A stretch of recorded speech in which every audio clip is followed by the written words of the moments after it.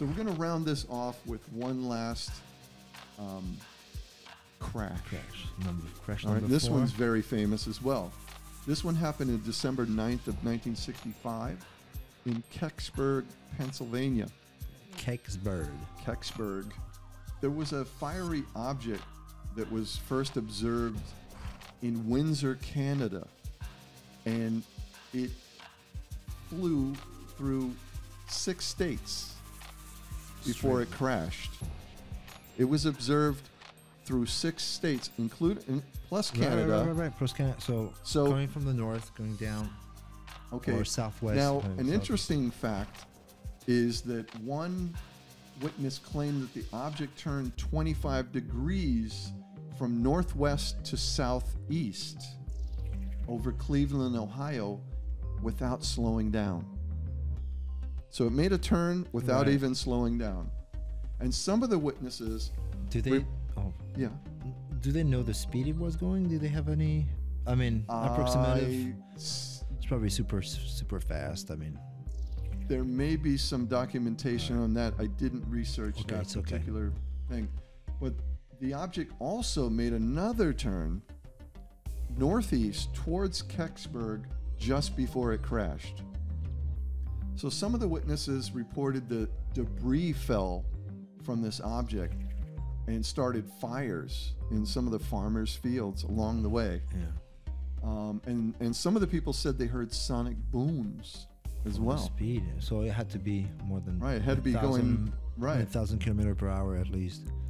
So there were two brothers, Ray and Rob, um, Ray Jr. and Rob, um, and they were riding their bikes in Kecksburg, and they just happened to look up and they saw a fireball in the sky, and it came over the top of the trees and disappeared over another group of trees in the distance. And around the same time, there were two other siblings, uh, uh, Nevin and Nadine Kalp, brother and sister, who were playing in their yard Okay. of their house, and it, the object flew over them and crashed in the woods nearby. And that's about um, half a mile away from where they were. They were. But they ran in the house and they told their mother.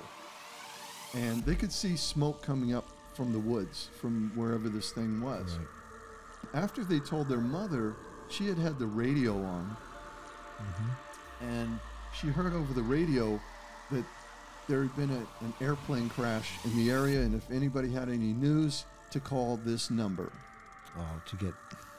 So she called the number and reported what she saw. Right. And what she said was a plane had crashed in the woods and burnt up. Mm-hmm.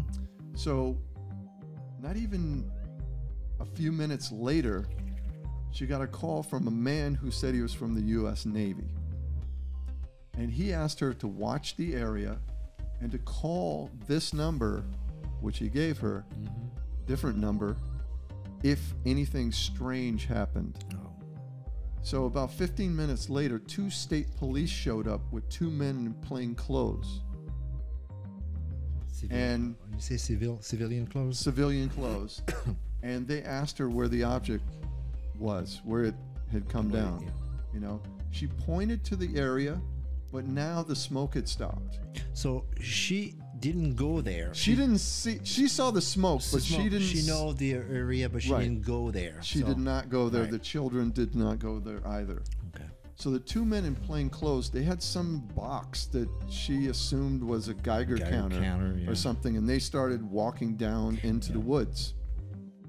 And when they got there, they saw blue flashing uh, lights. Um, the sun went down, and there was a volunteer firefighter named uh, James Jim Mayes, and he was with several other firefighters and a team of state troopers, and they went drove over a, to the top of a hill that overlooks the woods, Right. and they saw these flashing lights shining through the trees.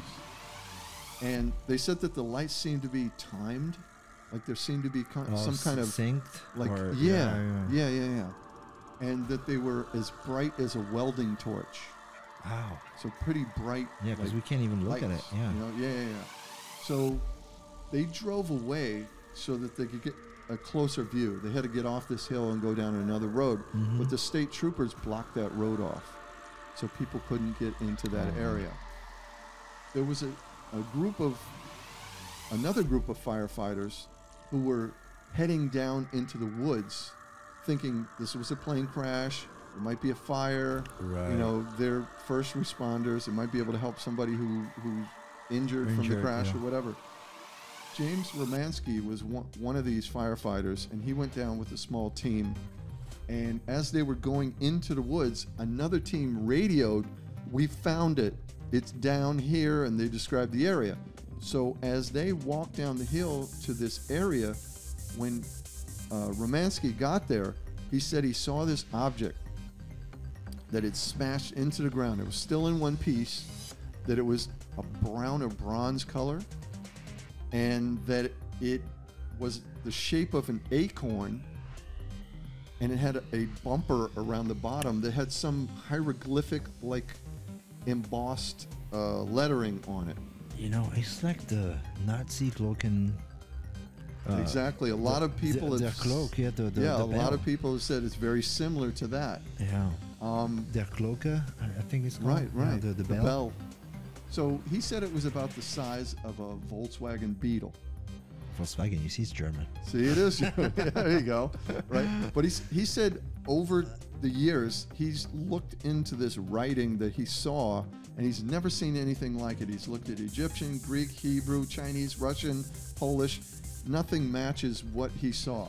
And we, we'll Right. see. There's a. That's not the only craft uh, that had writings on. No.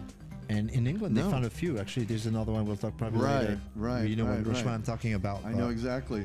So two mili- military officers arrived.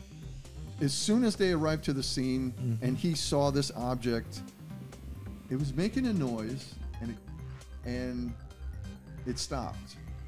And these two officers showed up, and they told him, "The military's now in charge. Everybody out of the area." Of course.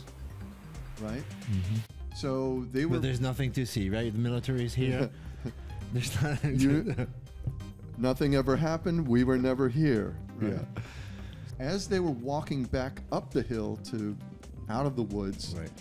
They saw military troops coming into the woods. More of them. More of them coming down into the woods, passing them on their way to wherever this crash site was. The military, as I said, was in the area and they ended up commandeering the firehouse. They took it over as Oh. their headquarters Really? and that was their base of operations there. So the firemen were told, "Wait outside. Oh, nice. They We're, we're taking this over right now." They must have loved this. Yeah, I'm sure they were pissed, Yeah. But they were told to wait there in case they were needed to put out a fire or they- whatever. You know, in case the military So- screws up. Romanski said that while he was sitting outside there, Mm-hmm.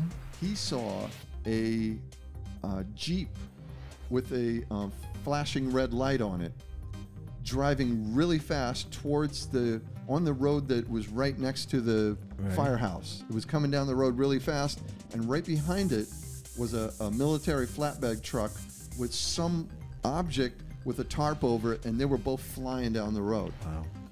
there were hundreds of people who heard about this crash that showed up Oh, they heard really? it They over the radio Oh, oh. and they just showed up. Well, you know, those small towns at the time, there was not much Nothing going on. Yeah, This is better than a movie, right? Right, exactly.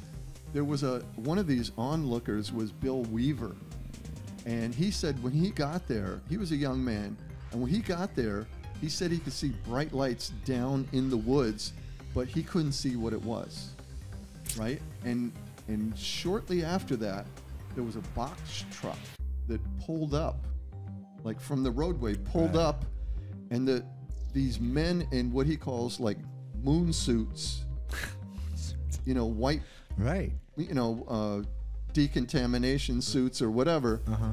got out of the vehicle and took a five foot square box. They carried it off this flatbed and walked it down into the woods To put Right, something so in.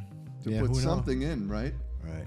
Shortly after that, there was a military officer who came out of the woods and he told everyone who was civilian to Back off. get out of the area.